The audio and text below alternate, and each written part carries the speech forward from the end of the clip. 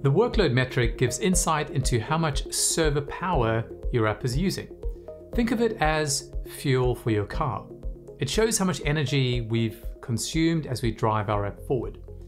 But here's the interesting part. While we do want to be mindful of our fuel consumption, it's just as important to ensure that our app delivers a smooth ride for its users. In this video, we're going to discuss balance and learn how to optimize workload for your application.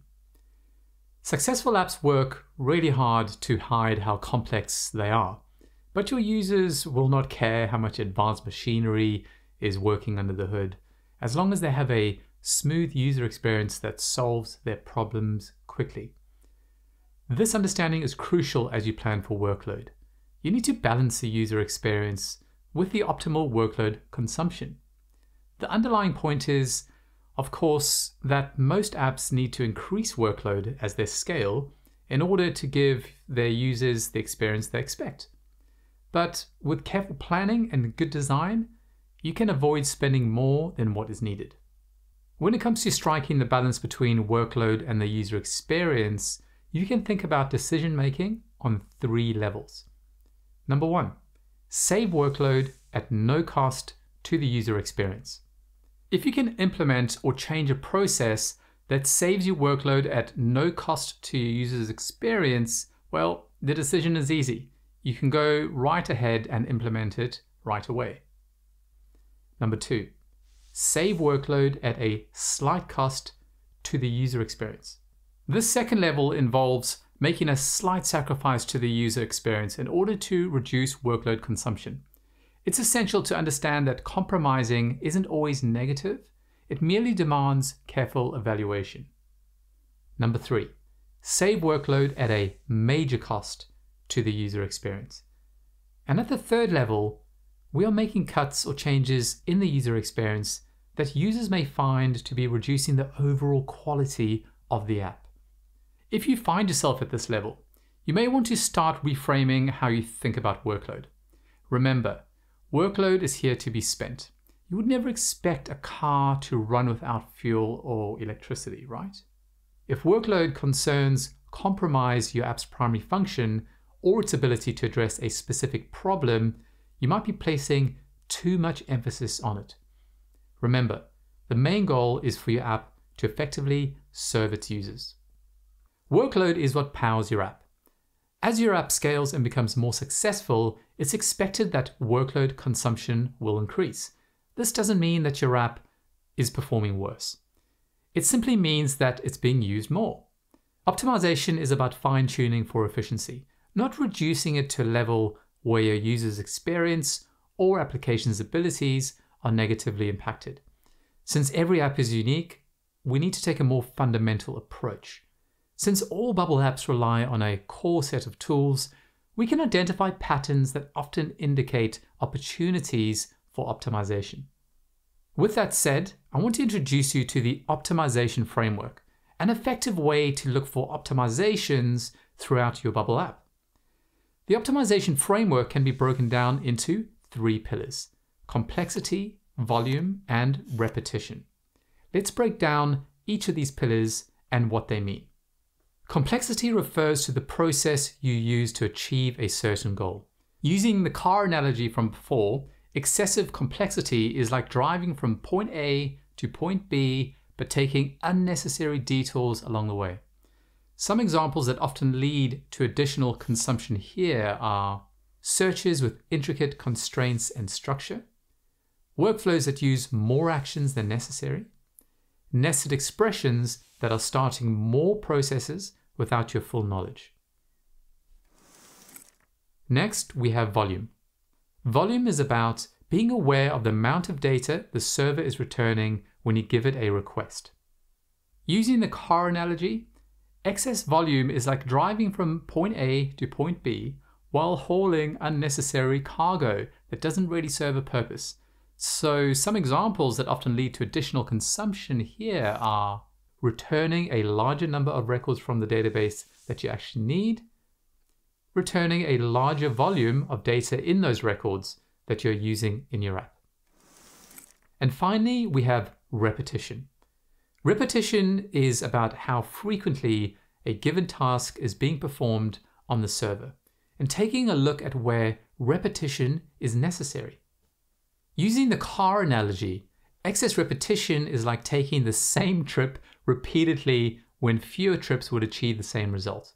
Examples that often lead to additional consumption here are performing searches or running workflows every time the page loads.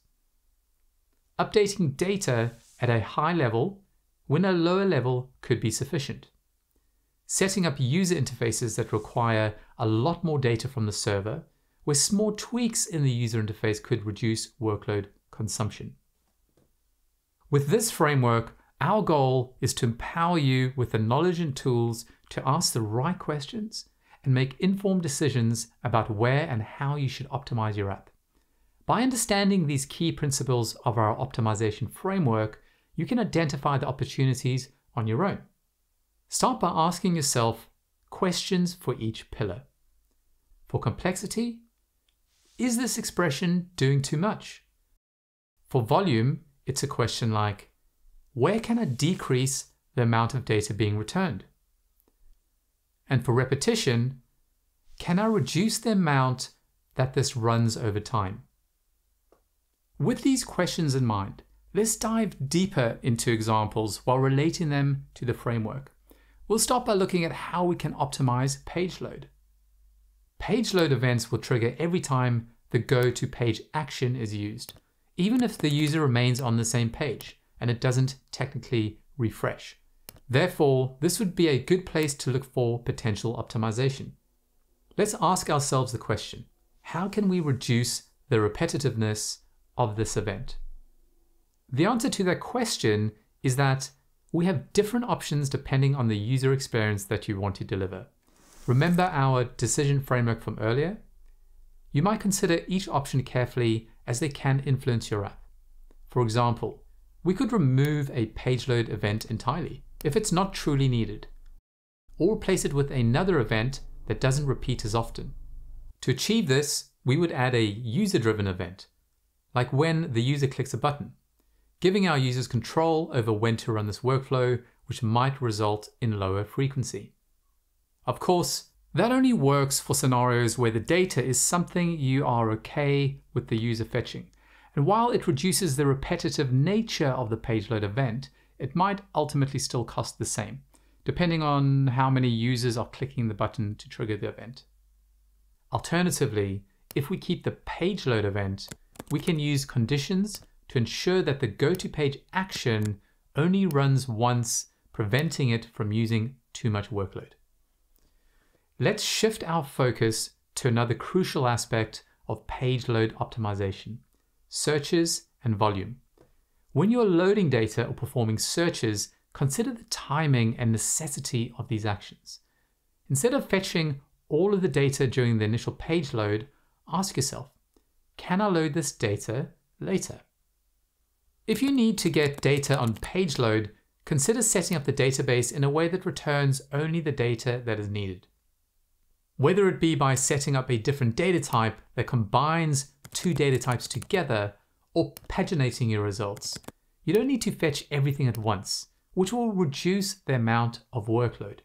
This optimizes for exactly the data that you need to load versus bloating the action by making it load unnecessary results. Searches that trigger subsequent searches, done repeatedly each time a user goes to a page, is not setting up for efficiency because it would add unnecessarily volume and complexity in one fell swoop. Searching for data on its own is not an especially heavy database operation, but we can use the optimization framework to determine whether a search spends a significant amount more than is necessary. For example, be mindful of nested repeating groups, where each row and each user triggers multiple searches. This can lead to excessive data retrieval and redundancy, making the process repetitive and volume heavy. Or how advanced filters can substantially increase the amount of workload for the same reason. The server is doing a lot of work to complete the query. Now let's look at another place where we can optimize, backend workflows. In many complex applications, Backend workflows are essential for automating various processes and tasks. Optimizing for workload here is straightforward. Keep referring to the questions about the framework. How often is this workflow running? How much data is being processed each time? How many users trigger this daily, weekly, or monthly? For example, recursive workflows are a common way to process large sets of data. And while they have their usefulness, there is an alternative way to achieve optimization here, called Schedule API Workflow on a List, abbreviated as SAWOL. In most instances, this SAWOL action is a faster and more optimized approach for processing list data than using a recursive workflow. They are both methods for performing bulk operations, but recursive workflows consume a lot more workload than SAWOL does because Bubble has to reschedule the workflow to run again and again, whereas SAWOL will schedule all of the workflows in one operation. SAWOL removes the part of the repetition, and when optimizing for workload, it's a recommended method for handling bulk data in backend workflows. While bulk operations can be necessary, they tend to be amongst the most repetitive and workload intensive tasks for the server. But there are always other avenues to gain workload efficiency. For instance, smaller bulk operations can sometimes be more efficiently handled by make changes to a list of things rather than schedule API workflow on a list or recursive workflows. Let's shift our focus to another area of optimization, security. While optimizing for workload is important, it's crucial to recognize that in certain cases, security should take precedent over workload considerations.